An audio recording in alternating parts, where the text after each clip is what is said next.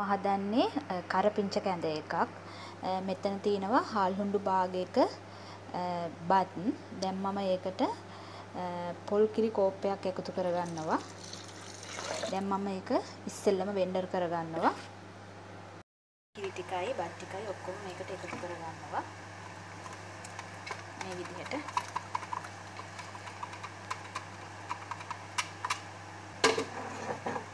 මෙතන තියෙනවා මම පිරිසිදු කරගත්ත කරපිංච. මම තුන් දිනට විතර තමයි හදන්නේ.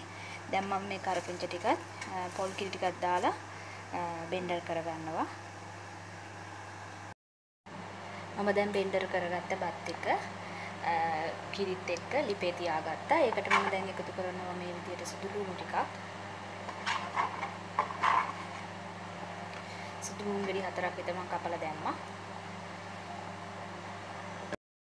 කිරි මම කොටාගත්ත කරපිංච ටිකේ දෙවෙනි කිරි ටික තමයි මම මේ එකතු කරන්නේ.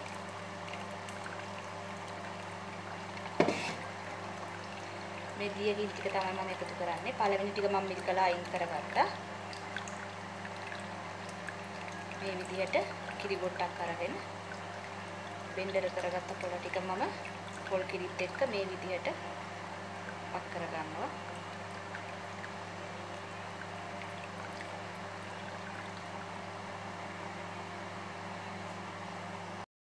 අපි දැන් ඒක පෙරාගෙන ඉවරයි. දැන් ඒක අයින් කරලා මේ විදිහට මේක හොඳට කලවම් කරගන්නවා. දැන් ඒකට ලුණු තේ හැඳකුත් එකතු කරගන්නවා. රසන්න ඔයාලට පුළුවන් තව ලුණු දාගන්න මදි නම්.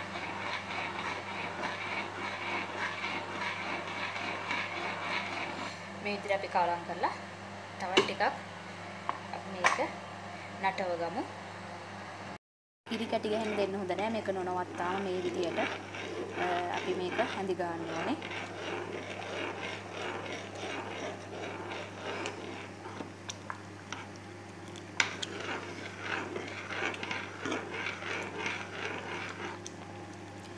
මේක ඉතාමත් රසයි ඒ වගේම ඉතාමත් ගුණයි සීනි තියෙන අයට මේක ඉතාමත් හොඳයි ටික ටික තමයි මම එකතු කරගන්නේ. මේකේ කොලක් තියෙනවා, දෙකම තියෙනවා. ඉතින් මම මේ පළවෙනි කිරි ටික තමයි එකතු කරගත්තේ. දැන් අපි මේක යාන්තම් චුට්ටක් නටද්දි බා ගන්න ඕනේ. සේරම නටද්දි නේ යාන්තම් චුට්ටක් වතුර නටද්දි අපි මේක බා ගන්න ඕන. එතකොට තමයි මේකේ රසය වැඩිපුර තියෙන්නේ. ඉස්සර කාලේ තියෙනව මතයක් සත්තු කෑවහම කරපිංච කැඳ දෙන්න ඕන කියලා. ඉතින් පත්තු බැඳලා කරපිංච කැඳ තමයි දෙන්නේ. මොකද මේ කරපිංච කැඳ ඉතාමත් ගුණයි. ඔයාලත් මේ විදිහට හදලා රස කොහොමද බලන්නකෝ.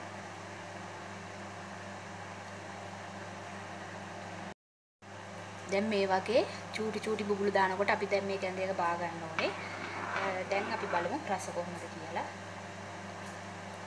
ඇත්තටම ඉතාමත් රසයි. දැන් අපි අපේ කැඳ එක බාගමු.